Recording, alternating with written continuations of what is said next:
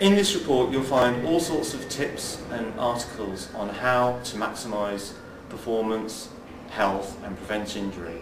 For example, we've got articles on how to improve rowing and cycling performance and also how to train so that you can actually boost the level of young hormones in your body and also how to um, protect your long-term health so that you can continue to train year after year.